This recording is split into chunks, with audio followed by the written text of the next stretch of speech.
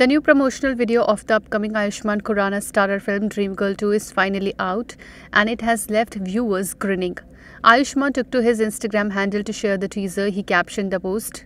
अपनी जान के साथ साथ ईदी लेने आई है पूजा ड्रीम गर्ल स्वागत नहीं करोगे इनका in the recently released video, Ayushmann Khurrana's character Pooja can be seen talking to Bollywood superstar Bhaijan ahead of Eid, as the latter's voice on the other side of the phone rings familiar. The tongue-in-cheek conversation between Bhaijan and Pooja has both of them in the middle of a nice romantic conversation, as Bhaijan is eager to catch a glimpse of Pooja's face and ask her to reveal herself. As Pooja tries to switch on the video call with Bhaijan, the lights go off, leaving Bhaijan and fans on a cliffhanger. This is the third promotional video featuring Pooja. The previous video featured Pathaan and Rockstar.